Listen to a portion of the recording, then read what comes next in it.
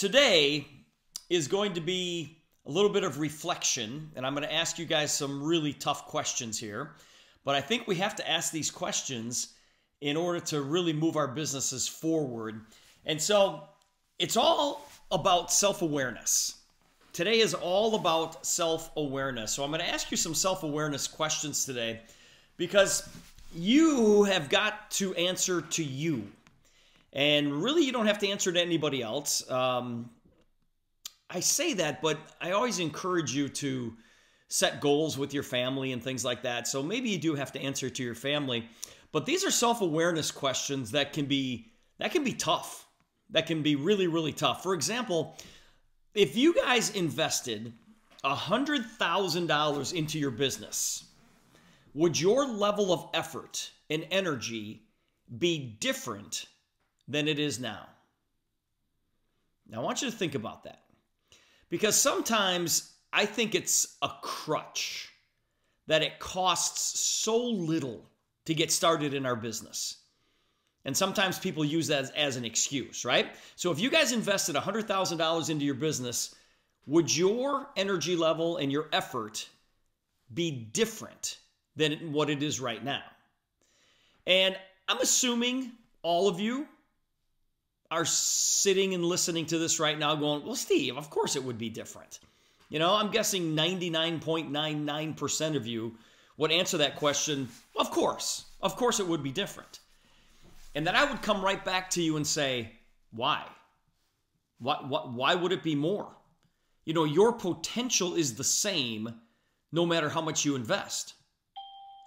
But the question and, and I guess the reality of it is, is that, well, you're thinking to yourself, well, I'd be more motivated to get my money back, you know, the money that I did invest into the business.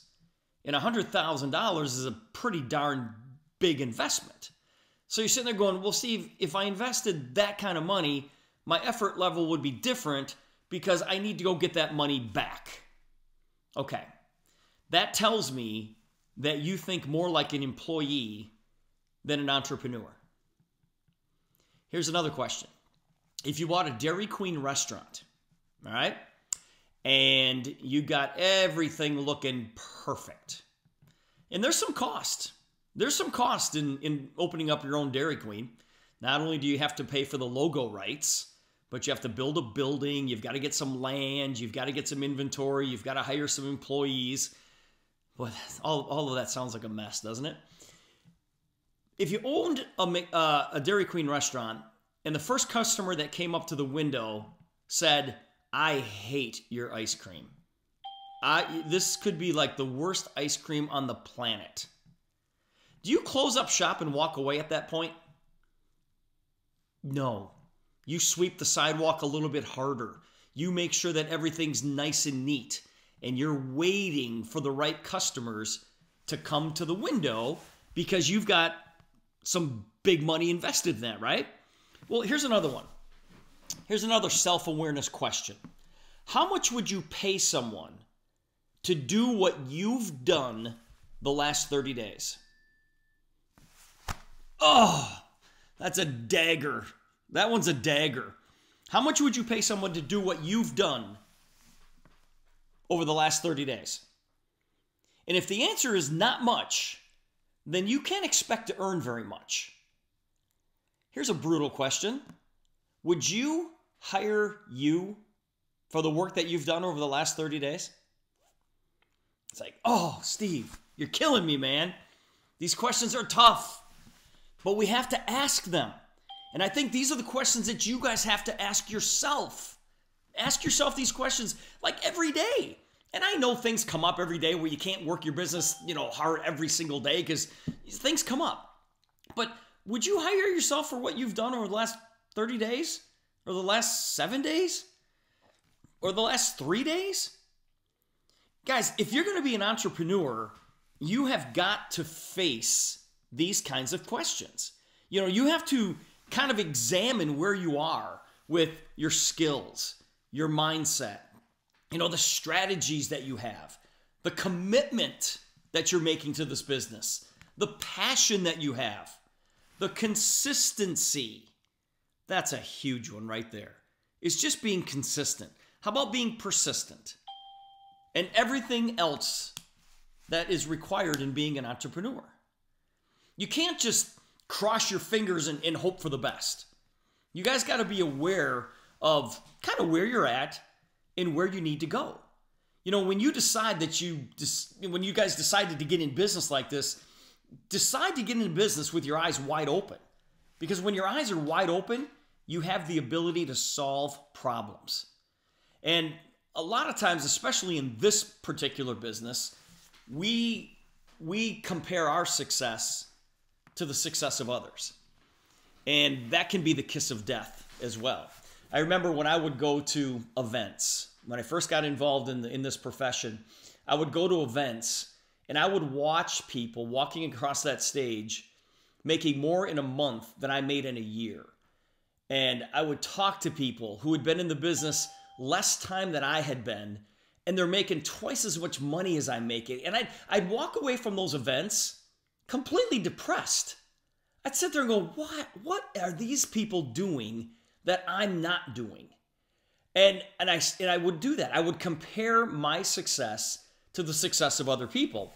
And then when I finally realized that they were just doing more of what I was already doing, it made it pretty darn easy. It pretty it made it really easy for me to catch them. Because instead of doing one business presentation a month, I start doing one a day. And then I start doing two a day. Then I start doing three a day. And it's like I didn't have to learn anything.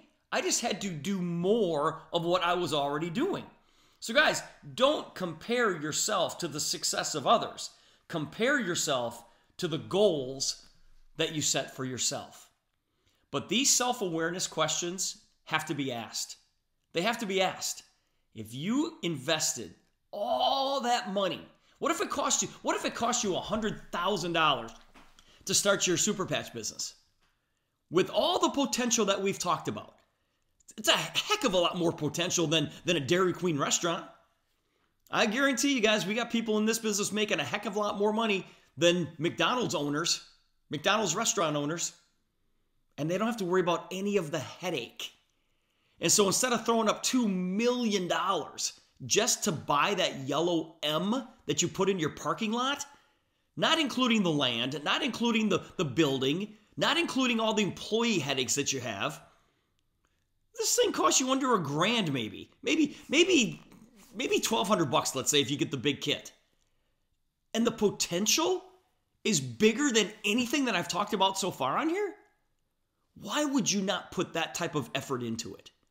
You guys have got a chance to set yourself up your kids up your grandchildren up for life financially what are you waiting for what are you waiting for you know, when I go out there and I share this, and we had a great meeting yesterday afternoon at my favorite office building, McDonald's. Yep, it's the greatest place to meet because everybody knows where they are. You know, people there were so excited to hear about this thing. And then we do a big Zoom uh, meeting, you know, last night. We have 35 people on this Zoom. You know, tornadoes going over our houses and people are still jumping on the Zoom. It didn't matter. And a bunch of people enrolled from that. It's like, this isn't work. I don't have to worry about somebody not showing up and, and running their shift. I don't have to worry about inventory and all that stuff that goes with it. And I have a bigger, the return can be so much bigger than anything in traditional business. It's like, come on, you guys, what are we waiting for? And if you're slow in building it, ask yourself these questions Who would hire you? And when you talk in those terms, it's pretty scary, isn't it? And if you say, you know, and if, and if, if some of you are just brushing this off like, oh, well, Steve, you don't know me, it's like, that's fine. Then, then you don't want this as bad as maybe I think you do. And that is fine too, because we're all individuals. We're all ind- independent.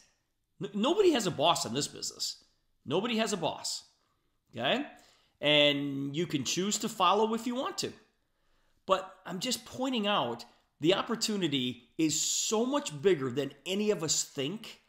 And sometimes we have to smack ourselves in the head to realize it. So make sure that you ask these self awareness questions often, just to keep yourself on track you